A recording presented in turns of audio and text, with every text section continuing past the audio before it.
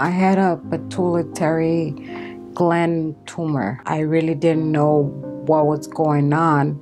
I was uh, developing a lot of disease. Martha had a condition uh, called Cushing's syndrome, which is a condition where the tumor was secreting hormones that caused her to have significant weight gain and other medical issues.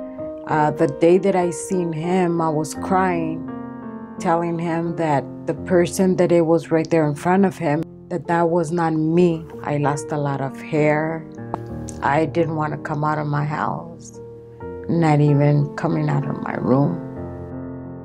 My speech, you know, people could hardly understand what I was saying.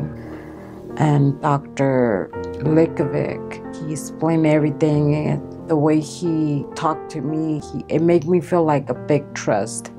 And as a result of the procedure, the uh, hormone levels were corrected, uh, which resulted in significant weight loss for her, uh, resolution of a lot of medical issues that were going on. After the surgery, I felt the differences. I went all the way as uh, 187 pounds.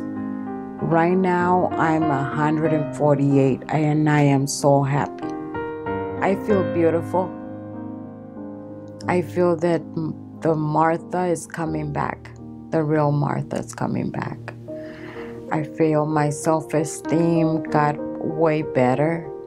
Now, every morning, I look at my closet and I'm happy to see and think which clothes am I going to wear today.